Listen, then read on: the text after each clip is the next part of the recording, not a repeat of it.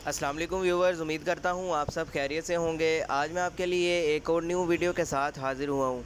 Video की तरफ़ जाने से पहले मैं आपसे अर्ज़ करना चाहूँगा कि जो जो मेरे चैनल पे न्यू हैं काइंडली मेरे चैनल को कर दें सब्सक्राइब और बेल आइकन को कर दें ऑल पे, ताकि हर न्यू वीडियो आने वाली बसानी आप तक पहुँच जाए। वीडियो की तरफ़ चलते हैं। वीडियो आज की हमारी इस बारे में है, ये कि एरेथ्रोसिन टैबलेट है ये, जिसको बनाता है इंडस फार्मा 250 फिफ्टी में है ये, फ़ाइव हंड्रेड में भी ये आती है।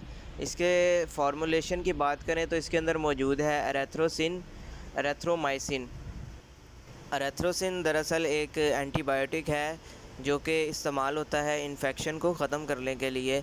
गले में किसी किस्म का भी मतलब इन्फेक्शन हो जाए, छाती में अगर बलगम वगैरह है, उसको भी ये ख़त्म करता है।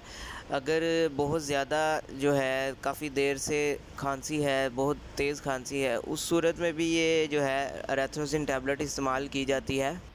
के बाद अगर गले में पेन वगैरह है, ये जो है, ये गले के पेन के लिए भी बेहतरीन टैबलेट है। मौसम की ख़राबी की वजह से अक्सर हो जाता है, गला जो है वो बैठ जाता है, ख़राब हो जाता है, आवाज़ चेंज हो जाती है गले की, उस सूरत में भी ये इस्तेमाल किया जाता है। और अगर गले में जो है वो टोनसिल्स बन जाएँ, उस सूरत में भी जो है ये टैबलेट इस्तेमाल करवा रहे होते हैं। बेहतरीन टैबलेट है। इसके अगर इस्तेमाल की बात करें तो आप इसको दिन में एक दो मरतबा इसका इस्तेमाल कर सकते हैं। लेकिन बेहतर यही है कि आप पहले किसी डॉक्टर से पता करें, उसके बाद जो है इसका इस्तेमाल करें ताकि आपको किसी किस्म का साइड इफ़ेक्ट देखने को ना मिले।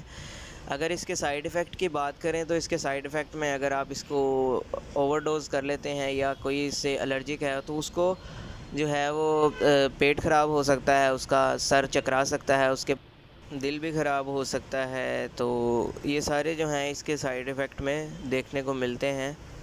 तो वीडियो हम यहाँ पे ख़त्म करते हैं। अगर आपको वीडियो मेरी पसंद आई हो तो लाइक लाजमी करें शेयर करें और चैनल को सब्सक्राइब कर दें अगर जिसने नहीं किया अभी तक। शुक्रिया।